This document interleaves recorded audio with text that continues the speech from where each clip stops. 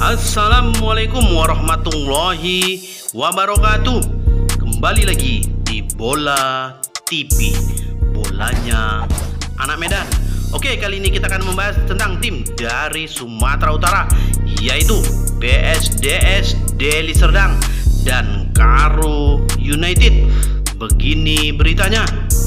Gubernur Sumatera Utara kita berlakukan PSDS Deli Serdang dan Karo United seperti PSMS Medan. Gubernur Sumatera Utara Edi Rahmayadi mengatakan akan berlakukan PSDS Deli Serdang dan Karo United sama seperti dirinya berlakukan PSMS Medan. Hal itu disampaikan Edi menanggapi lolosnya PSDS Deli Serdang dan Karo United di Liga 2.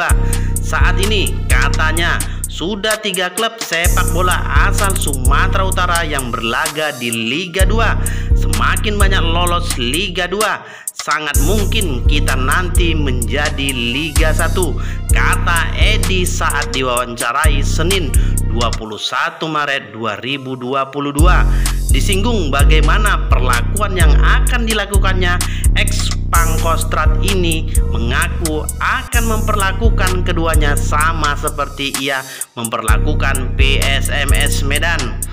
Pasti sama, saya kan gubernurnya. Inilah sedang akan kita kumpulkan pungkasnya. Sebelumnya, PSDS Deli Serdang dipastikan lolos setelah mengalahkan PS Palembang dengan skor 4-0. Sedangkan Karo United mengantongi tiket Liga 2 setelah mengalahkan Persikap dengan skor 2-1. Dua tim asal Sumatera Utara ini dipastikan lolos ke Liga 2 dalam ajang Liga 3 pada babak 16 besar putaran nasional.